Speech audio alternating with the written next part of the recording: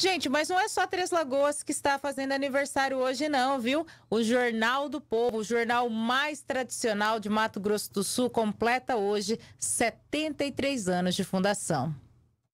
A primeira edição celebrou o aniversário dos 34 anos de emancipação político-administrativa de Três Lagoas, em 1949. Desde então, o periódico vem acompanhando os principais fatos de Três Lagoas, sendo um canal de informação e cumprindo sua função social de fiscalização dos órgãos públicos e contribuindo com o crescimento da cidade. Segundo o diretor-geral do grupo RCN, Rosário Neto, ao fazer 73 anos, o Jornal do Povo consolida ainda mais seu compromisso com a região da Costa Leste e todo o Mato Grosso do Sul.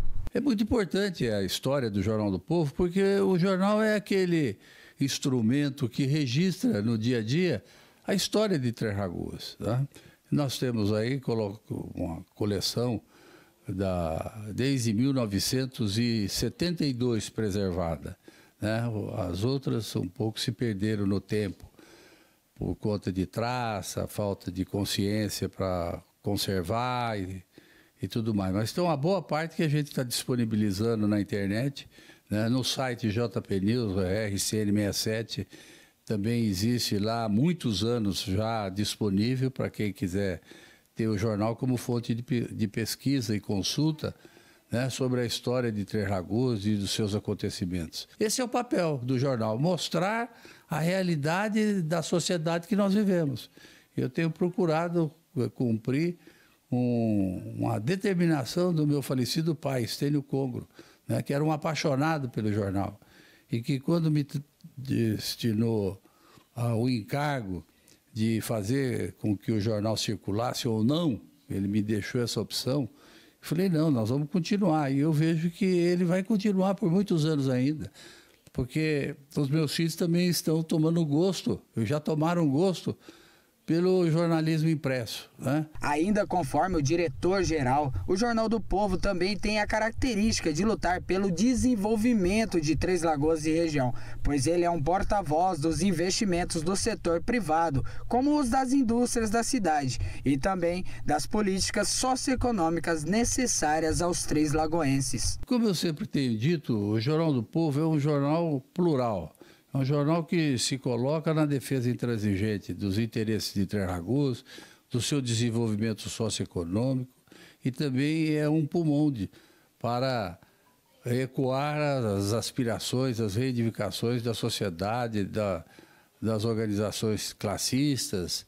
Enfim, o Jornal do Povo ele tem tentado cumprir né, com o papel de ser, ao mesmo tempo, um meio de divulgação e de cobrança, inclusive de providências das autoridades constituídas, sempre no bom sentido. É, cobrar para construir, nunca para defamar ou para é, depreciar, seja qual for a iniciativa. Ah, veja você que nós hoje aqui estamos numa campanha dá todo vapor pela BR-262.